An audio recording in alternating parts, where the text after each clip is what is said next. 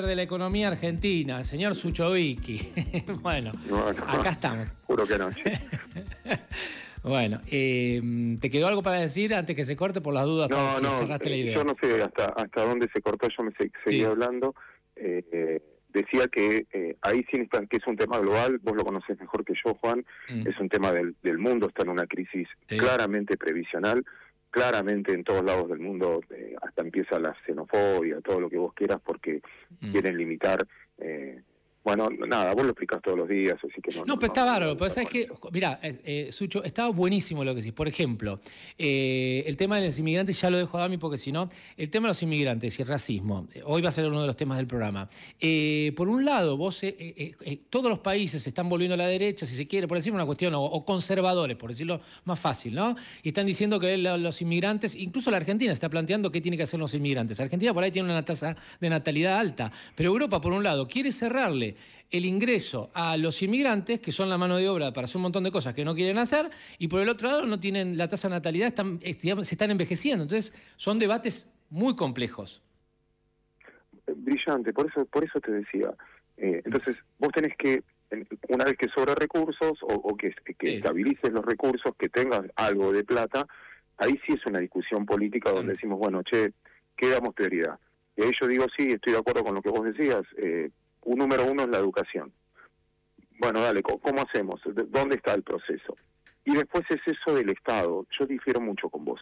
Difiero mucho generalmente con la postura de, muchos, pero voy a mi evidencia, pero yo no, no te lo puedo demostrar, no digo que yo tengo razón, porque cada uno habla de acuerdo a las experiencias que tuvo. Entonces, vamos, y te voy a poner de ejemplo de nuevo, Juan.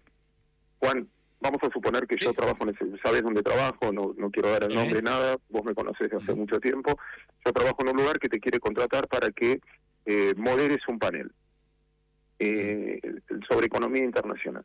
Y quiero que lo moderes y vos me decís, bueno, Claudio, mis honorarios son 100. Mis honorarios son 100. Bárbaro. Ahora te digo, Juan, estoy trabajando para el Estado. Eh, quiero repetir el evento.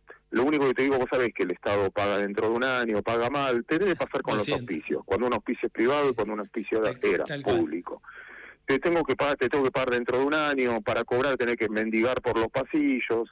¿Cuánto me pedís? Cuando yo trabajaba en el sector privado me pedía 100. Ahora, ¿cuánto me pedís, Juan? Sí, te pego dos, 200 o 50. Le agrego cuántos meses vas a tardar en pagarme y, le agrego la inflación y está listo. Bárbaro. Ahí el amigo Juárez va a agarrar como periodista, va a decir, Dillon es un corrupto. Le cobra al Estado el doble, como un cantante o lo que fuera. Y vos decís, no, no, para, para, me cubrí contra la inflación, nada más que eso. Cuando el Estado participa y es completamente ineficiente, yo no te creo que te esté ayudando. Yo prefiero que me saque el pie de encima, que me deje a mí. Asista a los que quedaron afuera. Los planes, todo eso sí, hay que darlos, porque hay gente que ya no puede incorporarse al sistema. Que asista. Y si es en forma indirecta, mejor. En forma directa, mejor. Toma, le acredito a cada uno como están haciendo ahora, en, no que haya intermediarios. Ahora, que el Estado se meta en todo, Estado presente que vos pedías para para No, Dami, yo no, vos, vos, me conocés a mí y, ya lo quiero dejar a, a, a, Dami porque si no, vos me conocés mucho a mí. Como yo te conozco, creo conocerte mucho a vos. Por suerte las circunstancias a uno lo hacen eh, repensarse, rearmarse. Si uno mira, por ejemplo, los, países más felices del mundo, eh, son los países nórdicos que tienen una participación del Estado eh, eficiente e interesante. Entonces yo lo que digo es, quizás estamos los argentinos y por cuestiones digamos, muy reales, estamos demonizando al Estado a un lugar que el Estado no se merece. Nos estamos pasando de un péndulo al otro. Y me parece que la verdad no está ni en ninguno de los dos lados. La verdad se compone de muchas pequeñas verdades. Y me parece que el Estado va a ser necesariamente conductor de algunas cosas mínimamente necesarias como para salir adelante. Es verdad. Pero en las culturas son distintas. Vos fijate que en una serie Borgen, ¿qué pasaba con una tipa que, no sé, gastó su tarjeta de crédito? Y cómo, y cómo castigan allá la corrupción, cómo es el nivel de educación, cómo renunciaron los primeros ministros de todos esos países que vos decís por un reloj. Y en Argentina hace falta hablar no, estoy de acuerdo, estoy de acuerdo. Estoy de acuerdo. Ah, bueno, lo dejo al señor Juárez porque yo ya no hablo más. Lo saludo, después te saludo al final, pero no porque si no, no lo dejo hablar, pobre. No, dos consultas muy puntuales para Claudio. La primera es si tenés alguna visión o análisis de por qué se registra este descenso de inflación, ¿no? Se había sobregirado los precios, se había calculado un dólar de 2.000 o 3.000, no sé lo que quieras, y bueno, se fueron los precios exageradamente a las nubes y ahora realmente son precios que la sociedad no avala y por eso baja, o baja porque hay recesión, o sea, nadie vende nada, entonces, bueno, pongamos un precio al, cual la gente quiera comprar. Y la segunda consulta tiene que ver con salarios, cómo ves a mediano término la evolución del salario, ¿no? E, en este contexto. Mm. Bien, eh, la verdad que buenísimo el, punto y cómo lo planteaste, eh, porque finalmente te voy a decir todo que sí. Los tres factores tienen que ver. El primero, eh, antes, como nadie quería pesos, como el ejemplo que le di a Juan, todo el mundo ahorraba o compraba dólares, el clase media baja, el que el que no tiene negocio, no sé, nosotros. El comerciante se quedaba con la mercadería, el sojero se quedaba con la soja, retenías mercadería. Preferió no vender, muchos preferían no vender que, que, que quedarse con, que tener pesos. Eso hizo que haya distorsiones de precios enormes. Ahora, con recesión, el stock me está fundiendo, yo no tengo a quién venderle, con lo cual tengo que pagar el alquiler, tengo que pagar salario y no me alcanza, con lo cual tengo que salir a vender o dólares de mi reserva, mis 200, fíjate que fue la primera vez, no sé, en 20 años, el dólar minorista te dio negativo, o sea, hubo más vendedores de dólares minoristas, de esos que compraban 200 dólares, incluso en el oficial, que los que compraban los 200 dólares. ¿Por qué? Porque no llegó a fin de mes. Entonces, para pagar la obra social que me mataron, tengo que salir a vender 200 dólares. Eso hizo bajar la expectativa del tipo de cambio y eso hace que me empiece a desestoquear. En algunos rubros tenés deflación por necesidad. Hubo una especulación, todo el mundo creía que esto, no sé, había muchas probabilidades de hiper, de hiper, de hiper, de hiper, y cargaron los precios a un valor. Siempre cuento una anécdota y me pasó prefiero no citar la marca, pero yo estaba, necesitaba comprar un traje por un evento, me voy a comprar un traje de una marca normal, nada de... Y voy y me dicen un, pal, un millón, eh, diciembre, mil dólares. Y le digo, no lo querés vender, ¿no? No lo tenés en venta. No, sí, sí, en un millón. Le digo, pero pará, eh, te muestro, sé, la primera marca del mundo vale 400 dólares, vos me lo querés vender a Te llevo a calle Serrano, acá a Madrid, y, te, digo que lo compras más barato.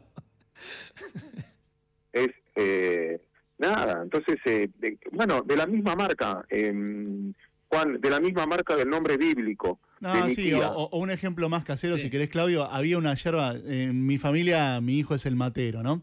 Entonces, bueno, siempre estábamos atrás a comprarle la yerba. Había una yerba que es uruguaya, que es muy conocida, está en todos los supermercados, y estaba, estuvo supo estar, pues la sigo el precio semana a semana, 14 lucas. El otro día estaba 6. Mm. estos, bueno, cosas porque, porque el tipo no, el tipo no quería vender, como no quería vender porque no sabía si iba a reponer, lo vende a un precio especulo. Había mucha especulación. Mm. Natural, normal, ni siquiera lo critico. Normal. Es cuando tenés incertidumbre hacer lo que podés. En ese en ese contexto, explicando también lo que vos decías y lo contemplabas en la pregunta, perdón por ser reiterativo, bueno, lo que pasó es que caíste en la realidad, le empezaste a creer un tipo que te dijo, no voy a emitir más no va a haber más pesos, no voy a emitir. No te creo. Todo el mundo le decía, había gente tirando pochoclo, diciendo, nada, te vas a caer antes. Y te dice, che, mirá estas protestas, te van a protestar todos en la calle, te van a tomar un edificio. ¿Sabes qué? No voy a emitir más. No voy a emitir más, no, no vas a poder, no vas a poder, vas a tener que emitir, no te vas a bancar la presión, no voy a emitir más. Pero los gobernadores, mira el de Chubut, no, vas a tener que emitir, vas a ver. Y bueno, señores, te guste o no te guste, ni siquiera hago juicio de valor, ni siquiera lo estoy defendiendo. Lo que te estoy diciendo es, bueno, el mercado entendió, che, este pibe no va a emitir. Entonces no hay peso. Entonces ahí empieza esa, para mí, yo estoy convencido de esto, es una discusión igual. Y, repito, estoy hablando, a veces me siento como que estoy hablando con un tono alto, pero eh, con la incertidumbre de todo el mundo. Para mí, la inflación es un fenómeno fiscal y monetario. Como tenés un déficit fiscal enorme y nadie te quiere prestar, emitís para financiarlo. Entonces, como no emitís más y no tenés más déficit fiscal, se está destruyendo la inflación. Esa es mi definición. ¿Y salarios, que era brevemente? Bueno, la, la contracara de todo esto, porque es como una enfermedad terminal, que tenés un tratamiento jodidísimo, en ese tratamiento jodidísimo la contracara es la recesión, que es lo que estás viviendo. Ya no me estás preguntando. Antes en los reportajes me preguntan cuándo viene la hiper. Y ahora la pregunta es, ¿cuándo salimos de la recesión? y la recuperación de salarios va a ser muy dispar. Obviamente, si yo tengo un empleo público, obviamente si trabajo en un lugar donde veo que estoy jugando al solitario porque no, no vendo, y mi queja va a tratar de, no de replicar la inflación, de que cuidar el puesto de trabajo. Con lo cual, la recomposición de esos lugares va a ser mucho más lenta. En cambio, hay sectores privados que tenés que tener puja para conseguir la capacidad. Mira, ahora viene otro mundo, donde necesito este especialista tecnológico. ¿Hay libres? No, no hay desocupados, se lo tengo que sacar a otra empresa, y entonces le tengo que pagar más, entonces vas a ver de eso también. Hay gente que va a ganar más, por eso te digo, viene un mundo completamente selectivo, chicos, pero pasa en todos lados del mundo, ya no voy a poder generalizar. ¿Cuántos, ¿Contra cuántos programas de radio compiten ustedes? Un sábado a las 9 de la mañana. Y 10, 15 por lo menos. Y más streaming, más eh, Instagram, más eh, YouTube. Bueno, ¿con cuántos estás compitiendo hasta ahora? ¿Cuánta gente te cree que nos estará escuchando y después la réplica de la réplica de la réplica? ¿Qué tenés que hacer para ganar esa competencia? Llamar a Suchoviki. Como entrevistado, por ejemplo. Mejorar, traer, material, hacer, eh, incluir al oyente, contame qué deporte te gusta, contame cómo descargar, eh, producís, tenés un productor que el lunes ya está programando el programa del sábado, me consta. Mm. Eh, eh, ¿Y quién gana? El oyente. El oyente. Te veía solo, solo. Yo ya estoy, estoy más viejo y estoy más mañoso, más, mañoso y más viejo. lo sí lo que estoy aprendiendo, que esto no tiene conducto o, o, salida si no tiene más humanidad. Eh, y, en eso me preocupa no solamente lo que pasa en la República Argentina, sino lo que pasa en el mundo. Mm, si no hay un cambio de conciencia, eh, no va a ser complicado. No, te lo ahí te doy la razón. Pero es parte del ser humano. Eh, obviamente y el presidente, en ese sentido, que yo sé que de vez, de vez en cuando lo ves, y yo sé que es un buen tipo porque lo conozco, deberían tener un, empezar a tener no un carisma tan violento, eh, que es una parte de Javier, debería tener un, eh, un carisma o una actitud más humana. Porque hay gente que la está pasando muy mal y no tiene esa cuota de un golpe en, el pecho, decir, dale para adelante, sé que estás sufriendo. Eh, no lo entiendo porque yo como vos, como Dami, como ese, vivimos otra realidad, pero te prometo que vamos a salir adelante prometo con el corazón que vamos a salir adelante. Me parece que le falta esa sensibilidad y a mucha gente eso ya lo está, eh, nada, lo está, no sé si corriendo, pero lo está desilusionando. Eh, te lo tomo, o sea, está, está muy bien. Sí, yo eh, lo que, lo quiero, son momentos difíciles y, hay que ser empático con, con lo que está pasando cada uno. Muchas veces incluso muchos que están en, el, en la función pública ni siquiera es culpa de ellos, ¿no? O sea, eh, cada uno hace lo que puede con lo que tiene. Así que, nada, perdón, No, no tengo nada inteligente para agregar, solo que suscribir no, no, No, Te mando un súper, te mandamos un súper abrazo, nuestro Federer, y gracias por este ratito. Y, con vos es un placer siempre charlar, porque nos hace reflexionar y contrastar también puntos de vista, ¿no? Que eso es lo interesante, ¿no? Lo que nos hace crecer como personas. Abrazo. Abrazo enorme. El señor Chovicki, vamos.